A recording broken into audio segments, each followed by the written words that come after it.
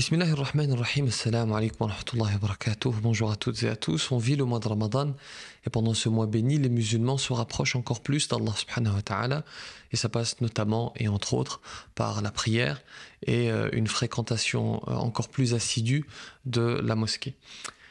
Et parmi les musulmans, il y a un frère que j'ai découvert avec ce dont je m'apprête à vous parler. Un frère qui s'appelle euh, Ibrahim Diakité.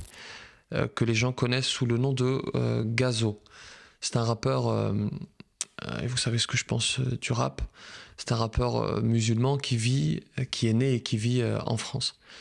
Il est, pendant ce mois de Ramadan, il est dans son pays d'origine, la Guinée, et il a décidé naturellement, comme tout musulman, d'aller à la mosquée. Et à la mosquée, il s'est passé ça.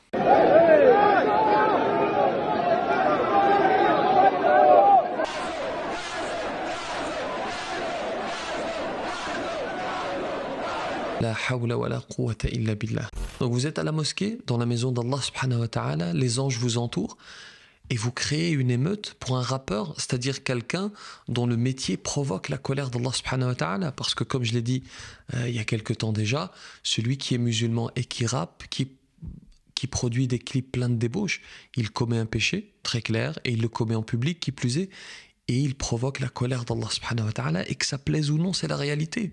Et d'ailleurs, ces frères qui rappent, on ne leur souhaite pas de mal, on leur souhaite le meilleur et notamment euh, un repentir sincère, mais c'est notre rôle de transmettre le message de l'islam de manière authentique, même si ça fait pas plaisir à tout le monde. On n'est pas là pour ça d'ailleurs, on n'est pas là pour faire plaisir, notre rôle c'est de transmettre. Donc je vous disais, émeute pour un rappeur dans une mosquée. En fait, quand j'ai eu l'info, pendant quelques instants, j'ai bugué, mon cerveau a bugué. C'est-à-dire que j'arrivais pas à comprendre, j'arrivais pas à relier les infos, les, éléments de l'info euh, entre eux.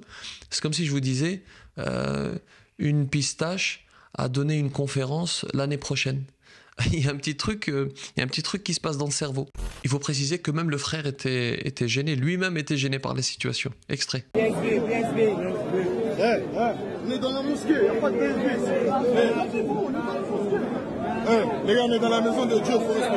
il faut préciser que fort heureusement, c'est un cas isolé. Dans beaucoup de mosquées, des footballeurs, des gens très connus vont prier, ça se passe très bien. En fait, on n'est pas à la mosquée pour créer des émeutes, que ce soit pour des footballeurs, pour des rappeurs et même pour des savants. Eux-mêmes ne le souhaitent pas.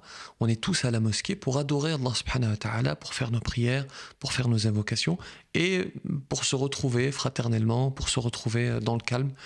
Si vous avez une euh, analyse euh, pertinente de la situation, n'hésitez pas à la donner dans les commentaires. Qu'Allah subhanahu wa ta'ala nous guide, qu'Allah accepte notre jeûne, que la paix soit sur vous.